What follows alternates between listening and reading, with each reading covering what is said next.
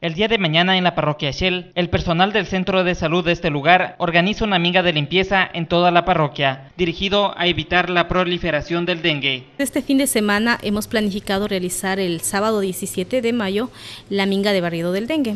Para esto contamos con la ayuda de los señores militares, nos han ayudado con unos 50 conscriptos, la policía también y lógicamente los, eh, los que laboramos en el subcentro y lo vamos a hacer en toda la parroquia, incluido Bellavista y lo que es el Barranco, el barrio Nuevo Millennium.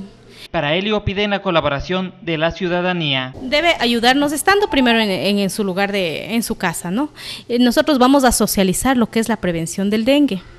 Entonces, en eso queremos que eh, limpiando los lugares que son depósito de criaderos del zancudo. También recipientes con agua, a veces hay llantas, hay tarros de cola, cosas así. Todo eso debemos tratar de eliminar de nuestra casa para evitar el dengue. También se socializará con la población para que en el futuro eliminar por completo los lugares donde se crían y reproducen estos vectores. Nosotros vamos a ir educando casa a casa para que no tengan estos reservorios de agua, estos depósitos donde se pueda producir el zancudo que justamente produce esta enfermedad. Vamos a empezar a las 8 de la mañana hasta la hora que se termine. Informó para Sonovisión Pablo Lascano.